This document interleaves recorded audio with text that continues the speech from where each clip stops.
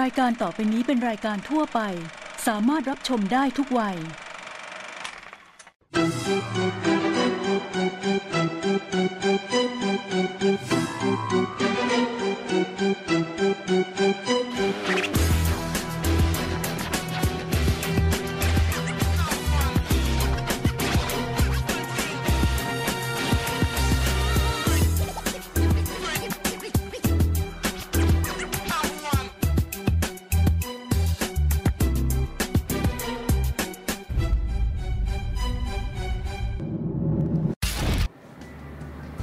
สวัสดีค่ะ วิวพงชนกกันกลับกับรายการ Sport Mafia รายการกีฬา sportainment ไลฟ์สไตล์และทุกช็อตเด็ดของวงการกีฬาทั่วโลก คุณผู้ชมคะต้องยอมรับว่าณเวลานี้หลายคนอยากจะเป็นนักกีฬาอาชีพ เพราะถ้าหากประสบผลความสำเร็จเนี่ยจะมีทั้งเรื่องชื่อเสียงเงินทอง ไหลมาเทมาโดยไม่ทันตั้งตัว โดยเฉพาะกีฬาอย่างฟุตบอลและการแข่งรถค่ะ แต่ยังมีอีกกีฬาประเภทหนึ่งที่สร้างชื่อเสียงได้เหมือนกันและเงินเยอะมากๆค่ะ นั่นก็คือกีฬามวย แต่ก็ต้องยอมรับว่ามวยอาจจะเป็นกีฬาที่เสี่ยงที่สุดประเภทหนึ่ง ทั้งกีฬาฟุตบอลและกีฬาแข่งรถ ต่างมีอุปกรณ์ป้องกันทั้งหมด แต่มวยไม่มีเลยค่ะ ซึ่งความสำเร็จในอาชีพมวยนั้น อาจจะต้องแลกมาด้วยความเจ็บปวด หรือบางรายอาจจะแลกมาด้วยชีวิต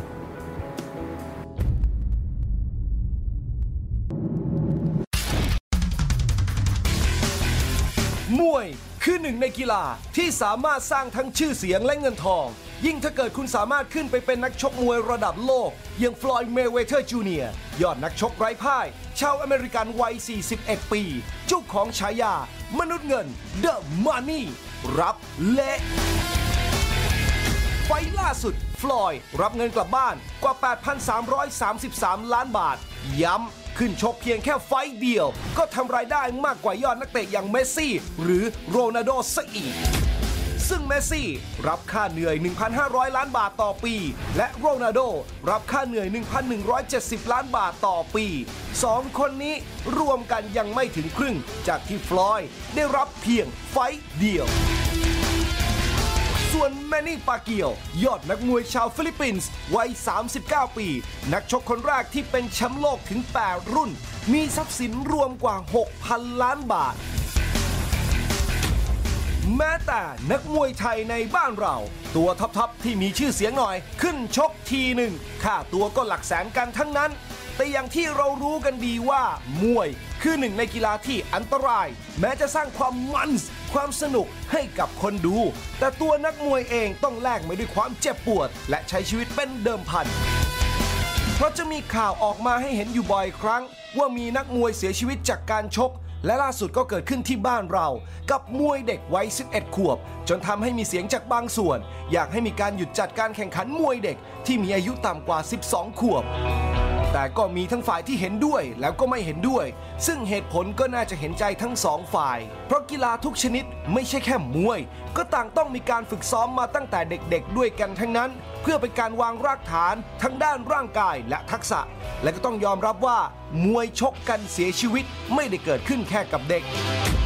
เหตุการณ์ที่สุดสะเทือนหัวใจนี้ก็เกิดขึ้นกับผู้ใหญ่เช่นกัน สิ่งที่เราอยากฝากมากที่สุดนั่นก็คือ ฝ่ายจัดการแข่งขัน ควรจะมีการ safety มากกว่าเดิม อาจจะให้มีการใส่ head guard เพื่อเป็นการป้องกันการกระทบกระเทือน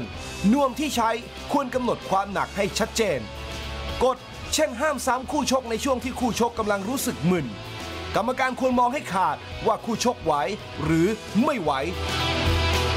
เข้าใจว่าหากมีกฎเกณฑ์มากขึ้น อาจทำให้กีฬาชนิดนี้ดูมันน้อยลง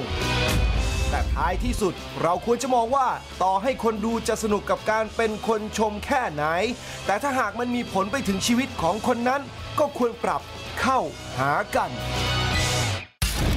สปอร์ตมาเฟียขอแสดงความเสียใจกับญาติผู้ที่สูญเสียในครั้งนี้ แล้วก็ขอเป็นกำลังใจให้กับทุกคนที่เกี่ยวข้อง เพราะเราเชื่อว่ากีฬาทุกชนิดล้วนเป็นการออกกำลังกายและการเสริมสร้างพัฒนาการที่ดี แต่สุดท้ายแล้ว ทุกคนก็ต้องมาช่วยกันหาทางออก เพื่อวงการกีฬาของไทยเรานั้นก้าวต่อไป